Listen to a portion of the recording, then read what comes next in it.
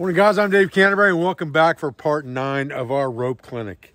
Today, what we're gonna talk about really is how to gain mechanical advantage using ropes and using a rope tackle. And we're not going to put block and tackle involvement in this lesson. It's all going to do with ropes and maybe adding a possible carabiner here or there to save wear and tear on the rope. But we're going to talk about different ways to make loops and different ways to gain mechanical advantage using a rope, depending on what the purpose is. If you're trying to stretch a rope across a long expanse, you need more mechanical advantage to be able to stretch that rope very tight. Whereas if you're just tying down a load, sometimes you don't need as much mechanical advantage or putting up something like a ridge line. So let's talk through that today real quick. Stay with me, guys. So what you can see in this example is we have set up what's called a Versa tackle on two loops, and we have half hitched it off in the end to keep it in place. This is a self-tightening type hitch, and we've employed two carabiners on our loops to save wear and tear on the rope. You could do this without the carabiners on the loops themselves, but you risk more wear and tear on your ropes that way. So let's kind of reverse engineer this or take this apart real quick and talk about it. We've got the opposite end of this rope is anchored to a tree, not that far away, but we are using this smaller rope and a smaller example of what you can do on a larger scale if you were stretching a rope across a long expanse. So basically you have two turns of line through the carabiners going in a circle, just like this. And we started on this end and put a directional figure of eight knot. And on this end, we used an alpine butterfly. Now there's lots of different ways we could do that. Now a lot of your decision on what loops and things you use on this rope is how much tensile strength you want to give up versus the knot you tied in it and the difficulty level to get that untied once it's been under stress. This is a directional figure of eight here and it's been under fairly good stress with a Versa tackle giving us at least four to one mechanical advantage. And it's going to be fairly difficult to get this undone without the use of some kind of a marlin spike to put in there. But I can still get it undone. So it's not horribly bad. Now, we go to this other side, which was the front of our tackle system. We had an alpine butterfly tied in this one. The alpine butterfly is very easy to get undone most of the time because it breaks down fairly easily. It doesn't have a lot of degradation to the rope. So it's a pretty good choice as well.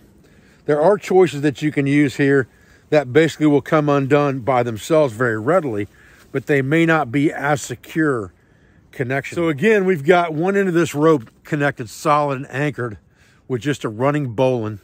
We have a tree on this side that we're wrapping the rope through or around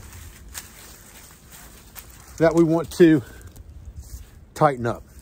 Now we have to decide what we're going to use as a tackle system or a rope tackle to tighten this up. And if this is just a ridge line, we can use a single loop and just put our rope through that loop. And probably one of the easiest ways to do that is just to turn over and pull a loop of line through the rope, just like this, which gives us basically a slippery loop in the line or a running knot depending on how you look at it. And when we come around from this opposite direction with this rope and come through that loop, that's going to give us basically a two to one mechanical advantage if this rope was moving around the tree. But because it's on a solid object, you really just have one to one mechanical advantage you're pulling against to tighten this rope. So once we've put this rope through the loop, we've now created a two to one mechanical advantage to pull against this to tighten it up. And then we can just pinch it off.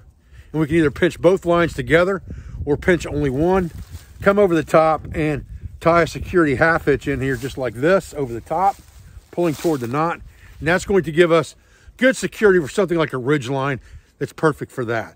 However, this rope being fairly tight is because it's a short distance. We only have about 20 foot to the other end.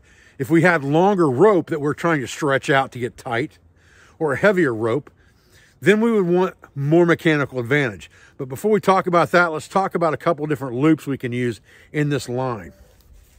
So like I said, in this case, what we used was basically a very simple slip loop type configuration where we just pulled a loop of line over the top, just like that, turned it over on itself, gave ourselves a little slack to pull a collapsing loop in here, basically a noose type loop that we can use to pull against. And most people call that a trucker's hitch.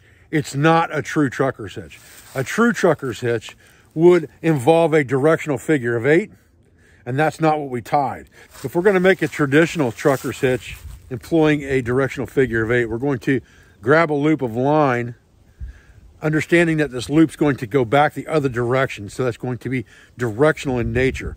So once we have that loop and cross it over, we're going to come around behind and back through, just like this, so that our loop in that figure eight is coming out the same direction as what's going around the tree.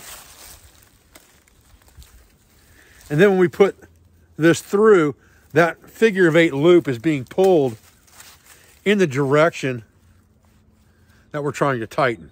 And that is a directional figure of eight. Now that's what you would use for a traditional textbook style trucker's hitch. However, pretty much any loop that you can put in this line, people consider that a trucker's hitch, a hay wagon hitch, a load hitch, whatever you choose to call it where you're from. So really any loop that we put in this line that we use for a tackling system to draw tension on it, people call those trucker's hitches. Now something else we can do with this is we can take this line up and we can tie in here what's called a Dutchman's knot. And a Dutchman's knot is pretty much a half of a sheep shank. So what you're going to do is you're going to turn this line over and bring this loop through that line and collapse it down on top of it like this. And so when we come back around this side with the rope and put it through this loop, we've now created a tensioning system here that's going to pull tension down and collapse on this, but it's going to hold very well to be able to tension that line. We can put as much tension on it as we want to, and this is not going to slip out of here. The beauty of this style knot, this Dutchman's knot or half sheep shank is that when we release pressure off of it, it will basically fall apart. So there's no knots in the line whatsoever for us to have to worry about untying after the fact. So let's look at that again real quick. We're going to take a loop in the line just like this. We've got a bite here. And what we're going to do is we're going to come up and this side underneath is going to become our tackling loop. And we're just going to turn this over, drop the loop through like this and pull it down on top of that loop. And this then becomes our tensioning loop that we're putting force on, which is trapping this bite in the line. And now we can come around and pull this through our tensioning loop here, just like we would with any other trucker style hitch and pull that down. And it's not going to come undone because it's collapsed on top of this loop and the force really isn't coming here. The force is being pulled against here and holding everything tight. Now you could put a toggle in here if you were worried about it and kind of pre-collapse that down on a toggle if you wanted to, to make sure that loop could never slip through there. And then you'd have to pull that toggle out to get it undone. But again, the beauty of that is everything comes undone without untying any knots. So the one thing you want to be careful of when you're making this Dutchman's hitch is that when you turn this loop in the line, you make sure that you come in with this bite behind that so that you're collapsing down on top of it with that loop. That way, when you're pulling against everything, it's locked in. If you don't do that, it's going to collapse on itself and come out on you. But if you make sure you've got that locked over the top like that, pull this through here real quick. When you pull down on this, everything's going to be locked in place. You've got to wrap around that loop that's got it locked in place and it's not going to slip out on you under pressure. It's just going to get tighter and tighter over top of this. If you tie that in there backwards and you come over the top and through, like this so that the line's going away from the loop instead of down. When you pull on that, it's going to collapse on itself and come undone. If we're going to have a long expansive rope and we're going to really be putting a lot of force on this like with a VersaTackle we're getting like four to one advantage i'm going to want to use something that's a very very strong loop so that's why i chose in this case to use the alpine butterfly as my inline loop and a directional figure of eight on the other end. But this could be a directional figure of eight as well. I just find that the Alpine Butterfly is a little easier to get undone. Doesn't matter what direction you tie it, it's gonna work either way. The second loop that you tie is going to need to be something that's very similar in strength to this. If you don't tie another Alpine Butterfly, you could tie a directional figure of eight. Okay, so in this case, all I did was tie another Alpine Butterfly. So I have one here and one here. To make this VersaTackle with no carabiners and just a friction type tensioning device, I'm just going to take my rope and I'm going to go through this loop and bring it back to the other loop and go through. So I'm going up and then down. So I'm going to do the same thing another time. I'm going to go up through and down through. And that's going to give me two loops of line that are going through these loops and give me a minimum of four to one mechanical advantage. And now I can pull this down pretty much with one hand to tighten it up and it will self-lock because these ropes are locking on each other around inside this loop.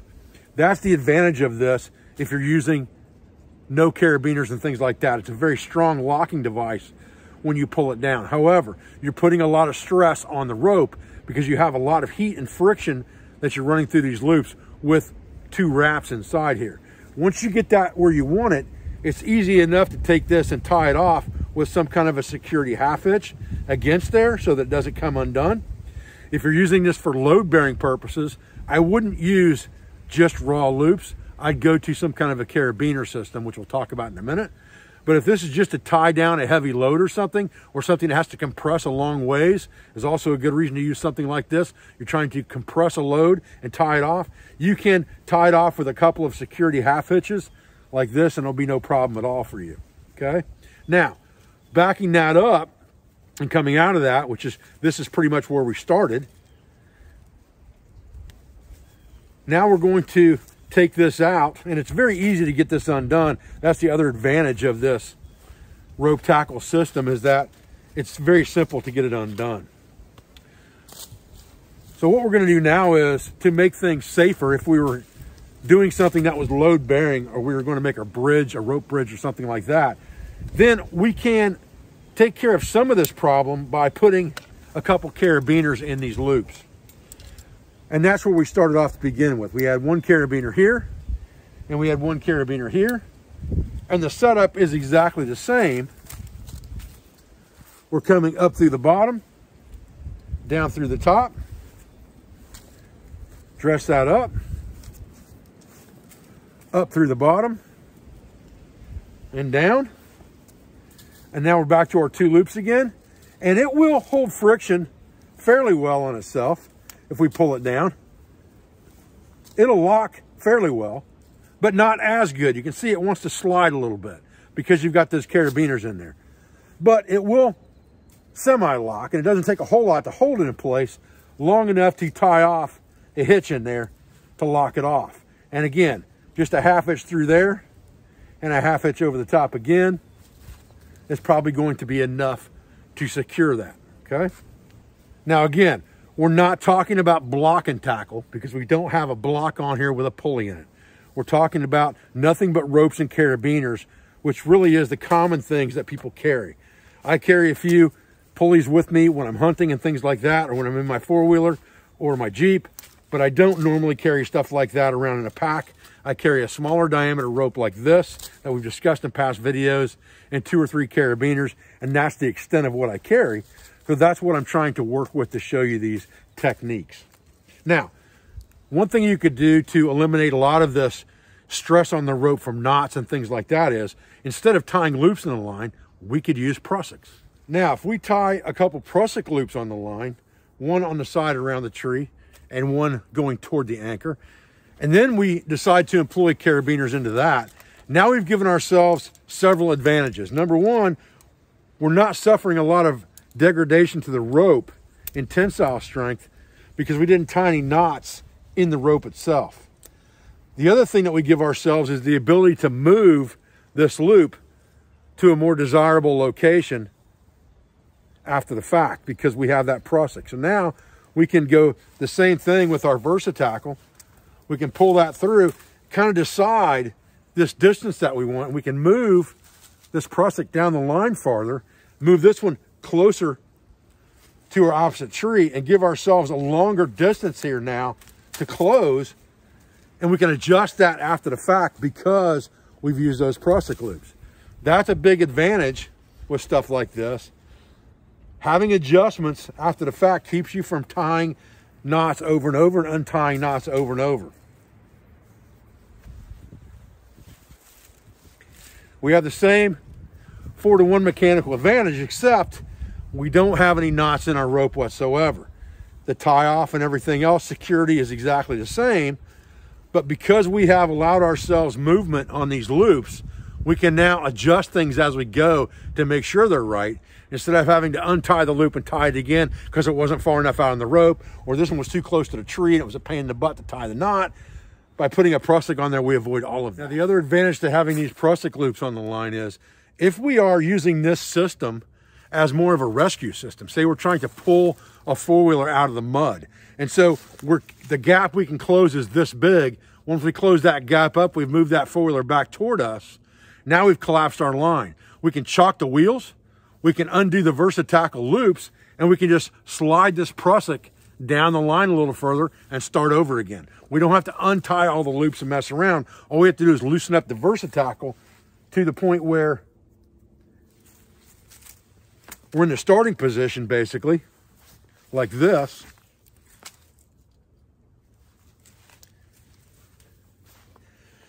And if the thing was closed up to, let's say here, because we've pulled our four-wheeler up that far and we've got everything closed up, all we have to do is loosen everything up, pull this out and stretch all this stuff out, feed the rope through slow just like this, get closer and closer. And now we're back to starting over again and pulling it again and closing that gap again and then sliding down again, closing the gap, sliding down again, closing the gap. And we can move both of these Prusiks in both directions so that we can close that distance and make that rope shorter and shorter with that object closer and closer to it. All right, guys, well, I'm Dave Canterbury with Self-Reliance Outfitters in the Pathfinder School. And I appreciate you joining me out here today for just a quick lesson in mechanical advantage using ropes and carabiners only. Again, we didn't cover everything in this video, but I wanted to cover a couple quick things that you can use that I think will come in useful to you so that you're not inundated with too much information at one time. Do me a favor before you leave today, hit the subscribe button, hit the notification bell, and tell one of your buddies about my channel. I appreciate your views. I appreciate your support. I thank you for everything you do for our school, for our family, and for our business, for all of our sponsors, instructors, affiliates, and friends. I'll be back with another video as soon as I can, guys. Thanks.